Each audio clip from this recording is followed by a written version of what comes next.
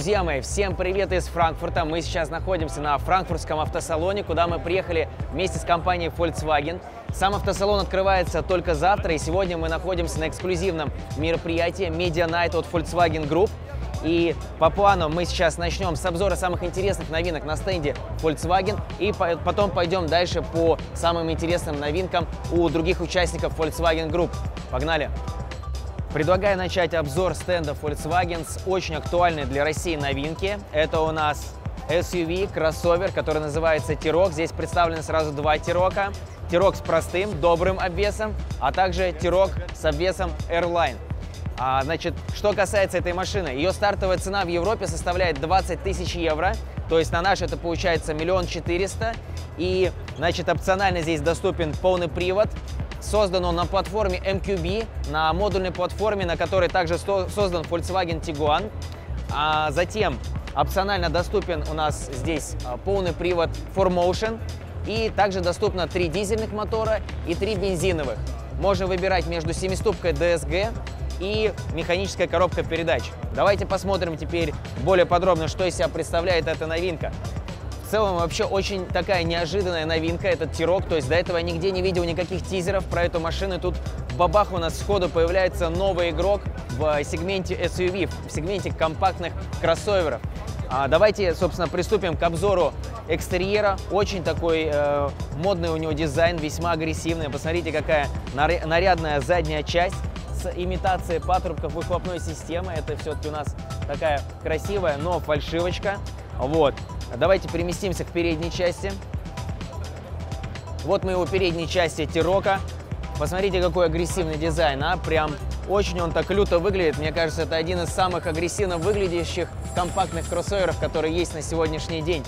И а, очень интересно, мне нравятся вот эти вот элементы с габаритами. Посмотрите, в таких в отдельных местах от основной оптики они находятся и прям добавляет какого-то своего стиля. Блин, ну в целом, конечно, с дизайном у Volkswagen в последнее время все только лучше и лучше. Мне нравится, что в целом они выбрали такой агрессивный путь, агрессивный стиль. Это, это здорово. Давайте переместимся вовнутрь. Что тут у нас внутри? А внутри у нас уже хорошо известная по другим Volkswagen полностью виртуальная панель приборов. Вообще, в целом, друзья, только посмотрите, насколько футуристично начинают выглядеть автомобили и снаружи, и внутри. Буквально 10 лет назад мы даже представить не могли, что такие тачки будут в свободном доступе, да, это просто потрясающе. Здесь же у нас э, последняя версия мультимедиа находится и очень классное решение с, э, со вставками в цвет кузова. Посмотрите, они прям добавляют веселости в интерьер. Но так в целом по эргономике, по э, тому, как здесь э, выглядят всевозможные, собственно, узлы управления, это все тот же классический Volkswagen, да. Э, мы здесь видим, по сути дела, все то, что а, встречается нам и в других моделях этого, этого автопроизводителя. Окей, пойдемте дальше. Давайте теперь разнообразим немного наш видеоряд интересными концепт-карами от Volkswagen. У них, собственно, есть э, линейка концептов, которая называется ID. И начнем вот с такого транспортера следующего поколения. Смотрите, внутри, например, руль напоминает какую-то подушку с э, минимальными функциями на нем. А, также можно увидеть iPad как один из органов управления. Все так предельно футуристично. И посмотрите, еще очень интересный момент. Собственно, педаль тормоза – это пауза, а педаль газа – это кнопочка play. Ну и, разумеется, отдельный респект вон тому э, медитирующему человеку. Он тоже задает немного стиля этому автомобилю. Давайте пройдем вокруг него. Конечно, вообще прям футуризм просто зашкаливает. Собственно, ну, все концепты, они сделаны по теме электрификации. И в целом Volkswagen очень активно смотрит на эту тематику. И уже, насколько я помню, после 2020 года каждая модель, которая будет продаваться, собственно, Volkswagen, у нее будет доступна полностью электрифицированная версия. Ну вот мы завершаем круговой обзор этого сумасшедшего концепт-кара. Но вот мне что нравится, несмотря на то, что, как мы уже обсуждали ранее, сейчас у модели Volkswagen такой достаточно агрессивный подход в формировании дизайна э, экстерьера. Здесь, смотрите, они все-таки смогли сохранить э, душевность восприятия этого транспортера нового поколения, потому что если вы вспомните первые транспортеры, да, с круглыми фарами, они такие супер добрые были, супер душевные. И здесь, смотрите, такой тоже весьма добрый на вид, супер хай-тек. Пойдемте дальше. Еще один интересный момент, который можно отметить в дизайне этого прикольного концепт-кара, это, собственно, вот этот иллюминационный ряд снизу. То есть сейчас э, заметно изменение, отход от стандартов в том плане, что раньше у нас как бы, допустим, здесь противотуманка, да, и там может быть только противотуманный свет. А сейчас за счет такого ряда светодиодов здесь, например, может быть не только противотуманка, но и в том числе, допустим, здесь может подаваться какая-то информация пешеходам, да, или еще что-то в этом роде. А сейчас мы добрались до очень необычного гольфа следующего поколения, если можно так выразиться. Так, вроде нас никто не прогоняет, мне это очень нравится. В общем, это тоже концепт из э, серии ID. И здесь уже у нас, смотрите, применили создатели такую органику, такие плавно идут линии естественные. В общем, вот так, может быть, будет выглядеть какой-нибудь Volkswagen Golf спустя лет 10-15. И сейчас мы не можем в это поверить, нам кажется это какой-то фантастикой, а скоро это будет просто обычным делом. Смотрите, здесь, например, э, в карте дверей расположены не только классические кнопки управления там, окном и так далее. Здесь же у нас и климат-контроль. В общем, э, интересно так экспериментируют. Очень интересно. Сумасшествие. Ребят, сейчас мы попадаем в еще один концепт-кар из серии ID. Вы сейчас увидите внешность, будете приятно удивлены, потому что это у нас э, такой хороший будет конкурент в теории для BMW X4 или Mercedes-Benz GLC купе. Внутри тоже у нас такой предельный футуризм, но заметьте, насколько каждый из этих концепт-каров отличается. Не только снаружи, это понятно, но и внутри. То есть в Volkswagen они пробуют разные форматы по интерьеру. Это очень здорово. Это очень интересно.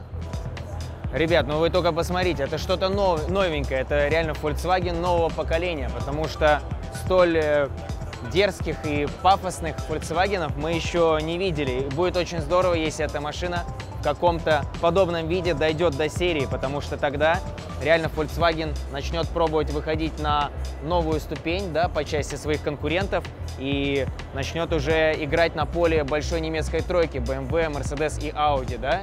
по степени премиальности, премиальности вида автомобиля, вот, его лухари составляющие. Здесь с этим все в порядке.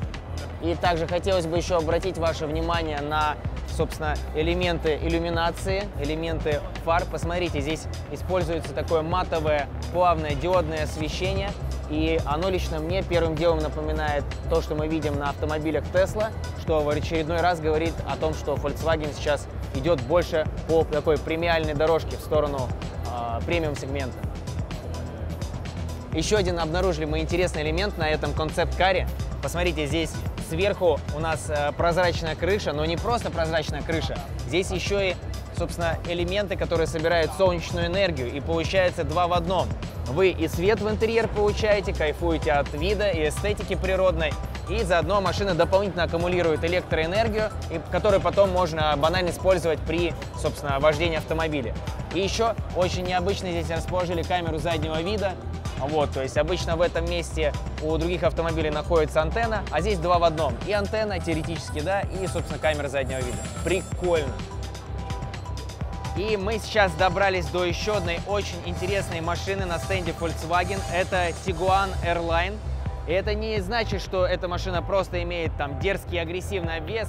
Здесь еще и мощность присутствует солидная. 2 литра, 220 лошадиных сил. Посмотрите, как она выглядит сочненько, а?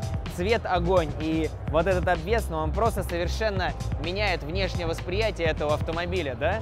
То есть новый Тигуан, он и так, в принципе, достаточно агрессивный, но Tiguan Airline — это вообще прям другая песня. Давайте еще посмотрим задней части, как он выглядит. Но это просто ядерная морковка какая-то реально. Также у этой версии Tiguan, если говорить о внешнем виде, кроме обвеса, имеются еще и очень злые опциональные диски. Это 20 тапки, 255 на 40. Прям вообще они задают вид на все 100%. Перемещаемся к задней части автомобиля. Здесь у нас, посмотрите, такие два агрессивных патрубка выхлопной системы. Тоже очень спортивный бампер. В общем, вот это, понимаете, Тигуан, вот это уже прям тига-гонка. Если говорить о том, когда эта машина у нас появится, уже в ноябре эту машину можно будет приобрести у нас в России. Я думаю, в районе ноября возьмем ее на тест-драйв и покажем, насколько у нее другой характер, нежели у Тигуанов с э, более простыми, менее мощными моторами. Еще один позитивный момент, уже с сентября во всех дилерах Volkswagen будет скидка 110 тысяч рублей на новый Tiguan, потому что машина очень хорошо продается, и поэтому автопроизводитель решил пойти навстречу. Не упустите момент. Внутри особых отличий от э, стандартного Тигуана я не заметил, разве что вот этот эрочный руль, посмотрите, какой красавец. Ну а если вам интересно более подробно узнать про Volkswagen Tiguan, снизу в описании я оставлю пару ссылочек на наши обзоры на эту машину, а мы пойдем дальше.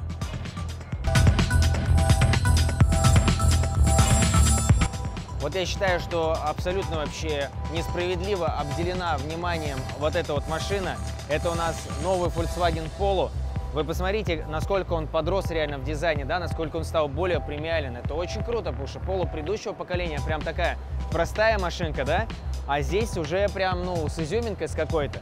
Шикарная передняя часть. Давайте посмотрим, что у нас сзади. Достаточно динамичная боковая часть. Смотрите, сколько здесь идет линий. Здесь вот где у нас шильдик Airline, отсюда развивается две линии, тут это еще идет снизу. Прям очень симпатично. Диски я конечно, другие поставил, эти такие, ну, не очень, как по мне. Сзади тоже, у смотрите, все вообще просто замечательно. Вот. Такие здесь патрубки выхлопной системы, стильные фонари, ну вообще здорово. Но самое интересное, я считаю, внутри, друзья. Вы только посмотрите, вы вообще могли представить еще некоторое время назад, что интерьер вот такого бюджетного автомобиля, что он станет однажды вот таким. Ну а это, ребята, красавец Volkswagen Arteon. Некоторое время назад машина уже была представлена, так что вы, скорее всего, ее уже видели. Но напомню, что по ссылочке в описании вы можете взять наш подробный обзор на эту тачку. Мы делали одним из первых тест-драйв на нее. Очень подробный, прям навалили там от души и в деталях ее изучили. Мне кажется, из всего модельного ряда Volkswagen это самая крутая на сегодняшний день тачка по части дизайна. Она просто бомба. Ребят, мы, в принципе, показали все самое интересное на стенде Volkswagen и хотели бы завершить просто замечательной, мне кажется, душевной, винтажной гоночной ноткой. Ну а здесь мы видим еще одну несправедливость на стенде Volkswagen. Посмотрите, абсолютно обделен вниманием этот душевнейший автомобиль. Это самый первый Volkswagen Golf GTI. Именно с этой тачки началась, собственно, GTI история. Давайте уделим ему немного внимания. Сначала хотелось бы дать немного общей информации. Машина начала выпускаться в 1976 году. По мощности здесь 110 лошадей, 1,6 литра, атмосферный мотор бензиновый, четырехступенчатая ручная коробка передач. И тогда тачка ехала до сотни за 10 секунд, и для 70-х годов это было более чем зажигательно. Знаете, вот что самое классное, когда вы садитесь в такой винтажный автомобиль, вот этот аромат старой машины, он такой прям особенный, он сразу прям задает атмосферу и сразу создается, ну, ты понимаешь, что здесь есть душа. Вот на отдельных автомобилях такого нет, а в этих есть. Значит, по деньгам она начиналась с 7 тысяч евро, то есть чуть менее 500 тысяч рублей стоила, если переводить на наши деньги. Максимум ехала 180 км. И, кстати, вес составляет всего 810 килограмм, то есть, по сути дела, это переднеприводный картинг, так скажем, да? Вот. Ну, вообще прям состояние идеальное, круто, душевно, здорово. Давайте еще посмотрим подкапотное пространство. Ну вот, собственно, и сердце этого железного коня, 1,6 литра, 110 сил. По тем временам горячая была тачка. Это сейчас 110 сил, это никого не удивишь, и там на нашей приорке даже 110 сил, а тогда это было ого-го. Здорово. Дорогие мои, на этом мы завершаем первое видео с франкфуртского автосалона. Надеюсь, вам было интересно посмотреть на новинки, которые базировались на стенде Volkswagen. Большое спасибо этой компании, что предоставили нам возможность приехать сюда и показать не только этот стенд, но и все остальные. Ну а, собственно, все остальные стенды вы увидите в следующих видео, так что не переключайтесь. Ставьте лайк, если вам понравилось это видео. Переходите по ссылочкам в описании, там есть ссылка на мой инстаграм и на второй канал. Все, ждем лайк, спасибо.